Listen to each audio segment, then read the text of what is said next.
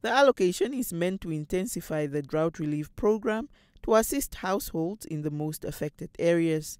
These include communities in Aminuis constituency in the Omaheke region, Daures constituency in Erongo region, Gibeon in Karas region, and Omatako, Khorixas, and Kamanjab constituencies in the Kunene region.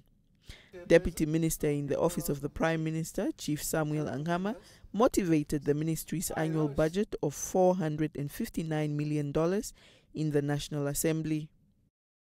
This allocation is increased to enable government to fund the drought relief interventions as recently announced, including relief in household livestock drought support. These are livestock marketing incentives, core head support of fodder and licks. The crop assessment report, which was recently released, shows that due to the low rainfall pattern in the country, many communities will not be able to yield good harvest, which necessitates the need for drought relief. The ministry has also allocated $4 million to the Namibian Red Cross Society to support efforts aimed at providing relief to communities affected by natural disasters.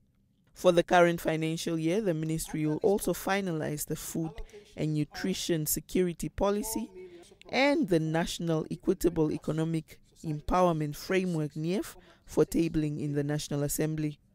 Other programs include the development of a human resource information system, permit for trophy hunting, gender based violence case management system, unification social welfare system, and the development of the procurement management system. Salmi Hangula, NBC News, Parliament.